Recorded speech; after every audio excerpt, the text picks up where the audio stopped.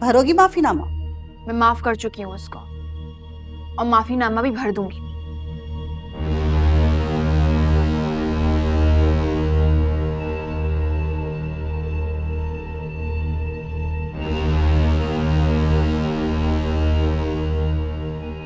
कब से जानती हूँ जुनेद?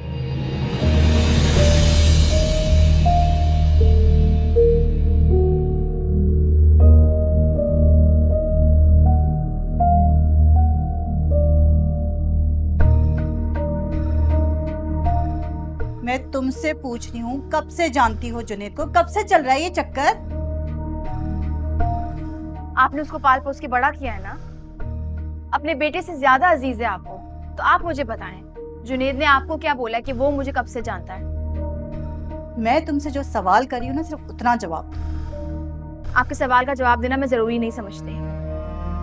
क्या हो गया है खाला जान आपको? ये वक्त नहीं है इन बातों का।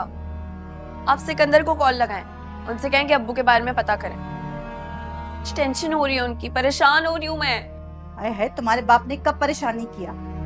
तुम्हारी लिए नई बात होगी, हमें तो आदत पड़ गई है। बोला है सिकंदर को। कर देगा वो नेफ आ जाएँगे, परेशान होने की कोई ज़रूरत नहीं है। बस एक बार भाई साहब घर में आ जाए ना तो फिर मैं फैसला लिए बगैर यहाँ से टलने वाली नहीं हूँ। और तुम दोनों माँ बेटियों के लिए बेहतर होगा उससे पहले यहाँ से चली जाओ। इसी में इज़्ज़त है। ये लोग क्यों जाएँगे इस घर से?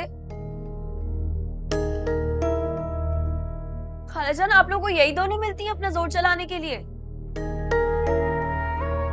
आपको नहीं लगता कि जोया के साथ जुल्म हुआ है? ए बस कर दो। कहाँ का जुल्म? कौन सा जुल्म हो गया इस पर? मैं अच्छी तरह जानती हूँ लड़कियों को। पहले लड़कों को पीछे लगाती है फिर छुपती फिरती है और फिर सारा इल्ज़ाम लड़कों पे लग जाता है। अगर मेरे साथ यही सब कुछ हुआ होता आप तब भी यही बातें करती मुझसे? अरे तुम क्यों बढ़ के बोल रही हो? क्या फूंक के पढ़ा दिया इन्होंने तुम्हें? और ये रातों रात क्या काया पलट गई है? देखो लड़की मैं तुम्हारी हालत थी लेकिन अब मैं तुम्हारी होने वाली सास हूँ। अब मुझे चिटाक पटाक करने वाली लड़कियाँ ना बिल्कुल पसंद नहीं है। फ़ोन करो सिकंदर को अभी अभी क्या अभी फ़ोन करो और उसे बोलो कि मुझे यहाँ से लेकर चला जाए। मैं भी इस घर में उसी वक्त कदम रखूँगी जब इन मनहूसों के गन से ही घर साफ़ हो चुका होगा